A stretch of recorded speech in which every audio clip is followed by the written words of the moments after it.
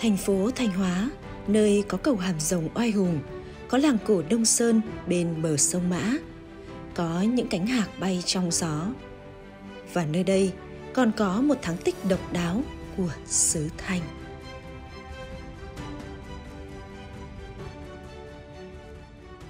Quý vị và các bạn thân mến, chùa Đại Bi hay còn có tên gọi khác là chùa Mật Sơn, tọa lạc tại phường Đông Vệ, thành phố Thanh Hóa. Đây là một ngôi chùa cổ kính được xây dựng dưới chân của ngọn núi Kỳ Lân. Giữa lòng phố ồn ào và náo nhiệt, một ngọn núi đá vôi sừng sững dựng lên, tựa như bức bình phong mà thiên nhiên ưu ái ban tặng cho đất và người xứ Thanh. Từ xa nhìn lại, ngọn núi như hình dáng một con kỳ lân đang nằm phủ phục. Có lẽ bởi vậy mà tên núi được gọi là núi Kỳ Lân, hay còn gọi là núi Ngọc Nữ, núi Mật.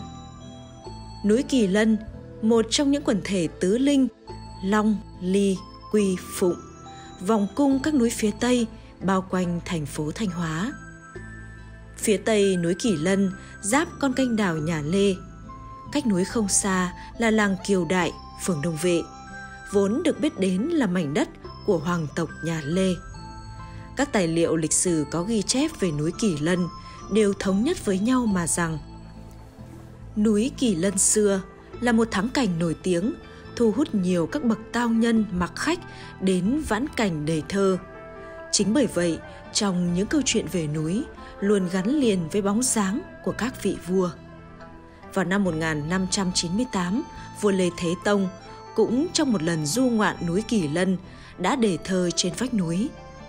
Tháng năm trải qua mưa núi, gió ngàn, tấm bia đề thơ của vua Lê Thế Tông không còn rõ chữ, chỉ còn được lưu lại như một minh chứng về sự tồn tại của tấm bia ấy qua những dòng ghi chép trong cuốn Thanh Hóa đẹp như tranh của học giả Lê Breton. Bia đề niên hiệu Quang Hưng năm thứ 21 triều Lê Thế Tông. Đến thời vua Lê Thần Tông, sách Đại Nam nhất thống chí biên rõ. Vua Lê Thần Tông lên núi chơi, sai dựng chùa ở cạnh núi, tạo chân dung nhà vua, nay dân sở tại thờ. Ngôi chùa ấy chính là chùa Đại Bi. Cùng với núi Kỳ Lân, chùa Đại Bi cũng được xem là một trong những địa danh mang trong mình nhiều giá trị văn hóa lịch sử. Tuy là một công trình kiến trúc tôn giáo thờ Phật, song sự hình thành và phát triển của chùa gắn liền với tên tuổi, đức nghiệp của vua Lê Thần Tông, vị vua duy nhất lên ngôi hai lần ở nước ta. Theo sử sách ghi chép lại, năm 1619, hoàng tử Lê Duy Kỳ được lập lên làm vua, lấy hiệu là Lê Thần Tông. Ông là vị vua duy nhất triều Lê Trung Hưng được lên làm vua tới hai lần. Lần thứ nhất từ năm 1619 đến năm 1643, lần thứ hai từ năm 1649 đến năm 1662 và trị vì đất nước tới 35 năm. Trong một lần về xứ Thanh, ngưỡng mộ cảnh đẹp vùng núi Kỳ Lân, ông đã xây dựng một ngôi chùa cạnh núi và đặt tên là chùa Đại Bi. Và nơi đây cũng được lựa chọn đặt thượng sàng hạ mộ của vua Lê Thần Tông. Có lẽ đây là nét độc đáo nhất của một ngôi chùa ở Thanh Hóa được gắn với cuộc đời của một vị vua. Chùa Đại Bi được xây dựng bố cục theo hình chữ đinh, bái đường gồm 5 gian, chính điện 3 gian, cách kinh vi chừng 200 mét. Năm 2008, chùa được xây lại, mặt nhìn về phía đông nam. Sân chùa đặt nhiều hiện vật bằng đá như khánh, bia, voi, ngựa, nghê. Tam quan làm kiểu trồng diêm ba tầng mái cong, phía trên cùng treo chuông đồng nặng hai tạ. Tòa tiền đường và hậu cung thông với nhà tổ, nhà tăng. Tiếp theo vườn hoa là phủ thánh mẫu. Đến những năm 2020, chùa tiếp tục được tôn tạo với bố cục hình chữ công đồ sộ. Xung quanh có hành lang bằng đá. Tiền đường gồm 7 gian, thiêu hương 3 gian và thượng điện 5 gian. Bên trong đặt những pho tượng lớn mạ vàng.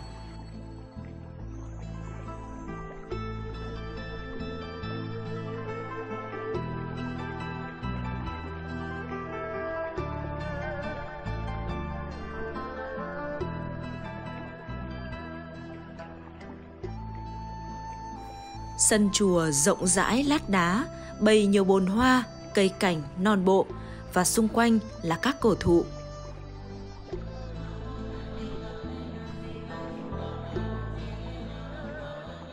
Ngoài chức năng sinh hoạt tôn giáo tín ngưỡng, trong lịch sử, chùa Đại Bi còn là nơi tập hợp các lực lượng cho phong trào yêu nước và đấu tranh cách mạng của nhân dân thị xã Thanh Hóa lúc bấy giờ.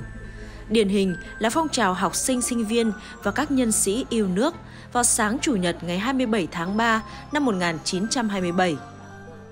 Thời điểm đó, bất chấp sự ngăn cấm của nhà cầm quyền, hơn 200 học sinh các trường trong thị xã đã tụ hội về chùa Mật Sơn, chính thức làm lễ tưởng niệm cụ Phan Chu Trinh, một chí sĩ yêu nước, người khởi xướng phong trào Duy Tân. Sau lễ tưởng niệm, một học sinh đã bị buộc thôi học khiến dư luận vô cùng phẫn nộ. Dấy lên cuộc bãi khóa của học sinh trong thị xã, đòi nhà cầm quyền phải bãi bỏ những luật lệ kim kẹp hà khắc trong nhà trường. Phong trào nhận được sự đồng tình hưởng ứng của phụ huynh, giáo viên và nhân sĩ yêu nước tiến bộ. Cuối cùng, cuộc bãi khóa giành được những thắng lợi nhất định. Trong những năm đầu của cuộc kháng chiến chống thực dân Pháp xâm lược, chùa Đại Bi được dùng làm trụ sở làm việc và đóng quân của một số đơn vị lực lượng vũ trang. Vào những ngày sục sôi khí thế của cách mạng tháng 8 năm 1945, cũng như chùa Đại Bi, núi Kỳ Lân trở thành nơi ghi dấu sự kiện đặc biệt có ý nghĩa. Sáng sớm ngày 19 tháng 8, lá cờ đỏ sao vàng khổ lớn phấp phới tung bay trên cột cờ ở đỉnh núi Mật, mở ra bước ngoặt quan trọng đó là sự mở đầu cho thời kỳ người dân Thanh Hóa được sống trong độc lập, tự do.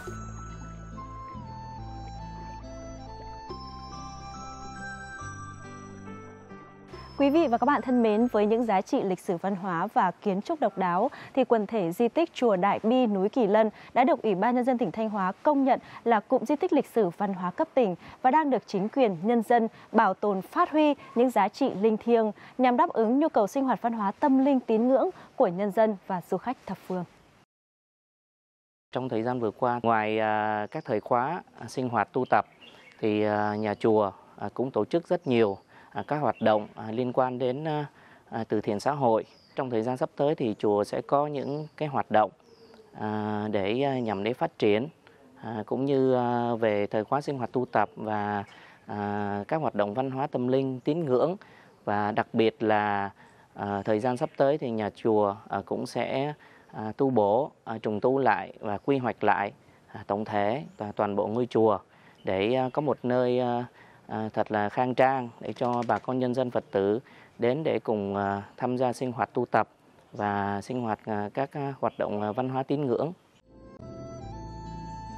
Núi Kỳ Lân và chùa Đại Bi trước những biến cố lịch sử đã không còn giữ được vẹn nguyên hiện trạng kiến trúc ban đầu.